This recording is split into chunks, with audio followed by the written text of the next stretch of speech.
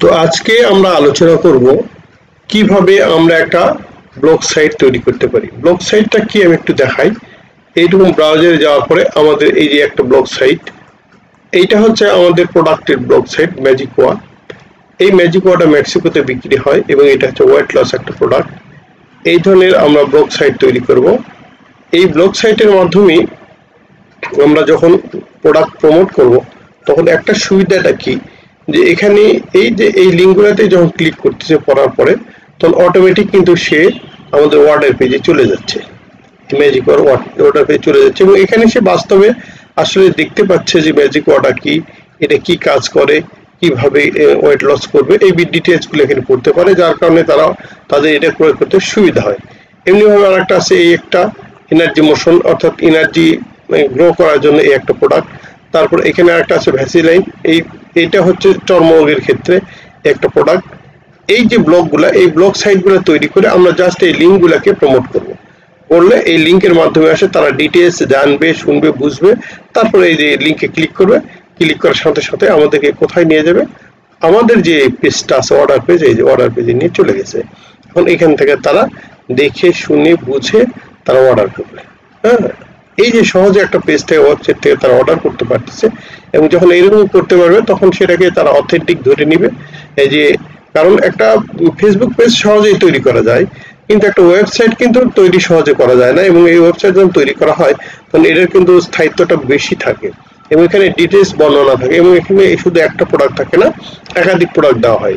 এই জন্য একটা প্রোডাক্ট ভালো না লাগলে সে আরেকটা প্রোডাক্ট যাবে তারপর সে কিন্তু ক্রয় করবে। তো যাই হোক, এখন আমরা কীভাবে ব্লগ সাইটটা তৈরি করতে পারি সেই বিষয়ে আলোচনা করব। এটা করার জন্য প্রথমে আমাকে গুগল ব্রাউজারে যেতে হবে। এই গুগল ব্রাউজারে যাওয়ার পরে আমরা সার্চ বারে লিখব blogger B L O double G R blogger লিখে ডট কম দেবো। দিলে আমাকে একবারে ওই পেজে নিয়ে চলে যাবে। এই যে চলে আসছে।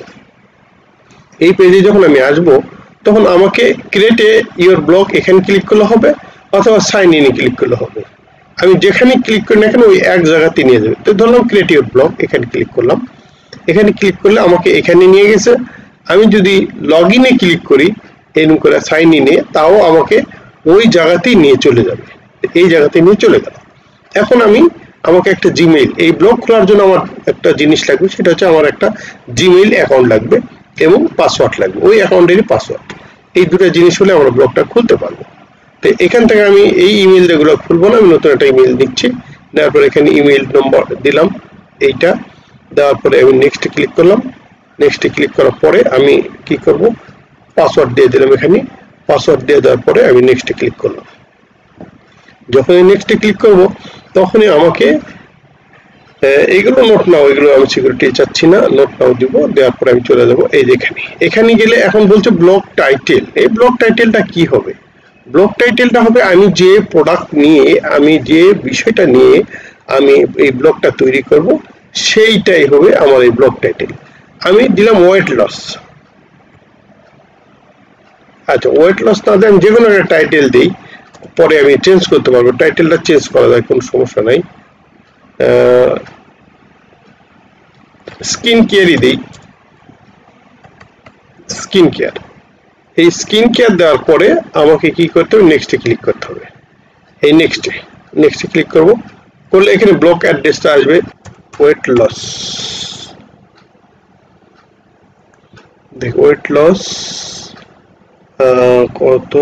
Seven days twenty four hours বা আমি দিলাম আর একটা ফর নিচে, এই যে নিচে। এটা নিবে। সেভেন্টি টু ডবল ফোর এই যে আমি দিলাম, দেওয়ার পর আমার এই ওয়েবসাইটটা নিয়ে নিচ্ছে তাহলে আমি এখানে নেক্সটে ক্লিক করব। নেক্সটে ক্লিক করলে আমাদের ডিসপ্লে নেম কি? ডিসপ্লে নেম দিছি আমি একটু আগে জেনে দিলাম ওয়েট লস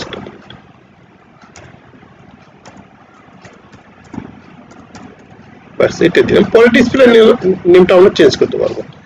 বাস এইবার ফিনিশে ক্লিক করলাম। ফিনিশে ক্লিক করলে আমাদের এই ব্লগটা তৈরি হয়ে গেল। এখন ব্লগটা আসলে কেমন? দেখার জন্য আমি বাম পাশে যাব। এখানে আমাদের কি কি আছে?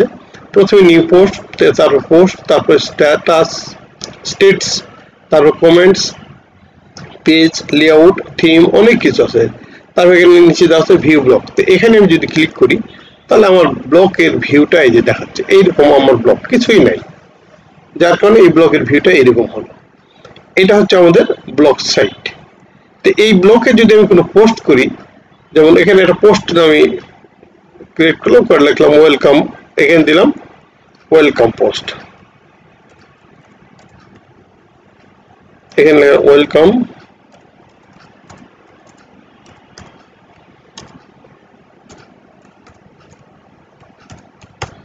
welcome our blog site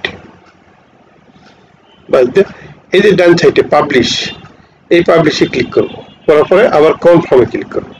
করলে আমার এটা পাবলিশ হয়ে গেছে। এই যে এখানে একটা পেজ চলে আসছে। আমি যদি আবার এখানে চলে যাই রিলোড দিই, তাহলে যে ওয়েলকাম আসছে। ওয়েলকামের যদি ক্লিক করি, তাহলে আমার এই যে পোস্টটা দেবে ওয়েলকাম আওয়ার ব্লগ সাইট তাহলে এই একটা পোস্ট আমাদের আসলো। এখান থেকে আমি কি করতে পারব? আমার এখানে এই ব্লগে যখন চলে যাব, যাওয়ার পরে আমাদের এখানে আমি দেখি এই যে নাম বা এই যে ছবি, এগুলো আমরা এখন চেঞ্জ করতে পারব। তো এইটা করার জন্য কি করব? যে আমাদের ব্লগে চলে যাব। এখানে যাই, এটাতে যাই। যাওয়ার পরে আমাদের এইখানে যে থ্রি ডট আছে এই দিকে আছে, এইগুলোতে আমরা ক্লিক করব। করলে এখানে থ্রি ডটে ক্লিক করে মেইল দেখাবে, এখানে ক্লিক করলে আমাদের হেল্প ডেস্ক এগুলো দেখাবে। তো আমাদের দরকার, এগুলো হচ্ছে আমাদের ইমেইলেরই অপশন এগুলো আমাদের জানার দরকার নেই। আমাদের, আমি যেটা বলছিলাম যে আমরা এখানে যাব, এখানে যাওয়ার পর স্কিন কেয়ার নামে একটা ব্লক তৈরি হয়ে গেছে, এই যে স্কিন কেয়ার আচ্ছা স্কিন কেয়ার এখন আমি যদি সেটিংয়ে চলে যাই বা থিমে চলে যাই বা লেআউটে চলে যাই, তাহলে কেমন দেখায়? লেআউটে গেলে এই যে লেআউটে গেলে দেখাচ্ছে। এটা হলো আমার লেআউট তারপর এখানে থিমে যদি যাই, এটা হচ্ছে আমার থিম এখানে অনেক রকমের থিম আছে।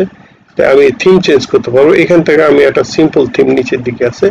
আমি যদি একদম নিচে এই সিম্পল থিমটা নেই, এই থিমটা নেই, নেওয়ার পরে কি করতে হবে? থিম যখনই দেবো, দেওয়ার পরে ক্লিক করব, করার পরে এখানে আমাকে কি করতে হবে? অ্যাপ্লাই করতে হবে।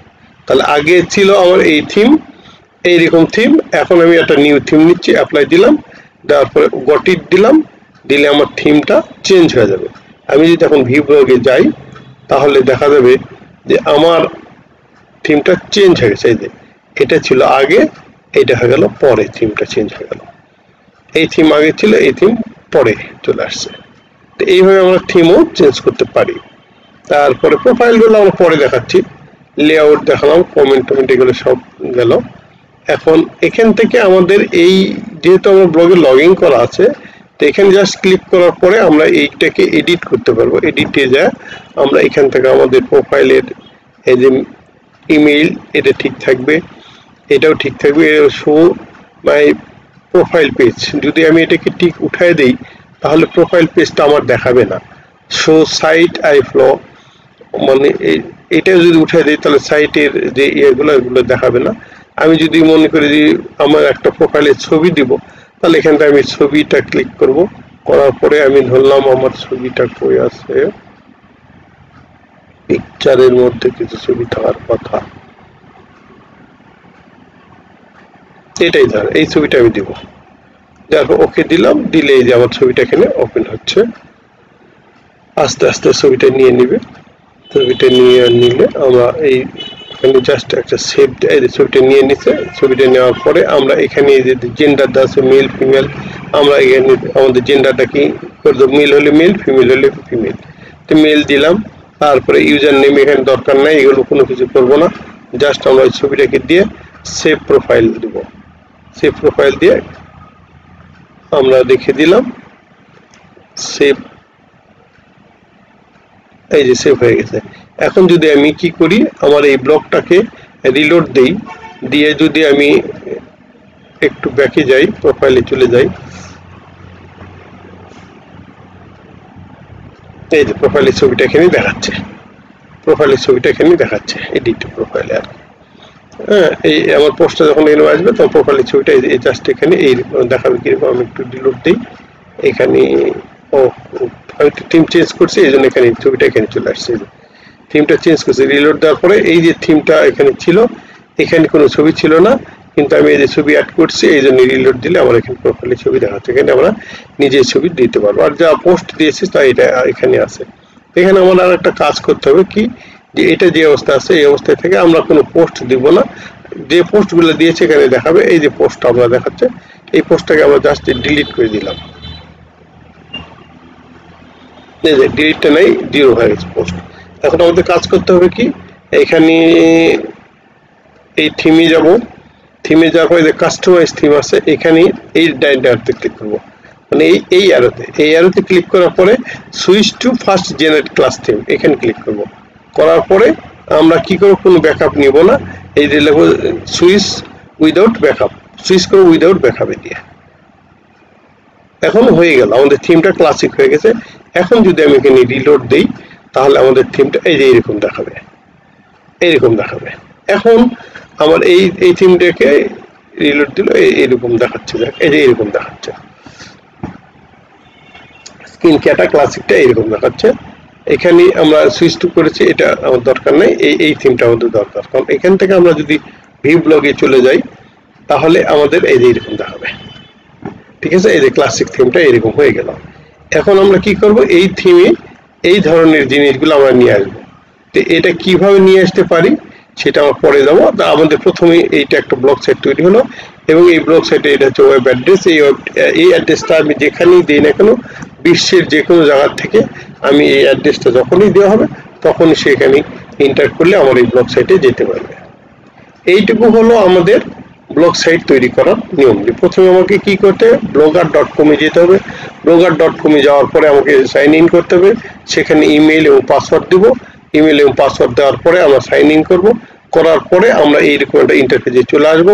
আসার পরে এখান থেকে আমরা কি করব? আমাদের থিমটাকে চেঞ্জ করে এই যে সিম্পল থিমে দিব, এইটাকে দিব। এই থিমে ক্লিক করার পরে, প্রত্যেকটা থিমে ক্লিক করার পরে এই যে অ্যাপ্লাই কথাটা আসবে। এই অ্যাপ্লাই ক্লিক করলে ওই থিমটা অ্যাপ্লাই হয়ে যাবে।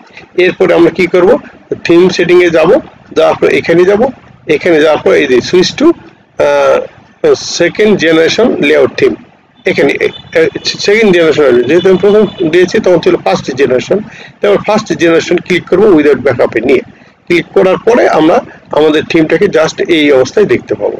তো এইটুকুই আমরা আগে প্র্যাকটিস করি, তারপরে আমরা বাকিটা আমরা আর একটা ক্লাসে দেখব ইনশাল্লাহ তো সবাইকে ধন্যবাদ।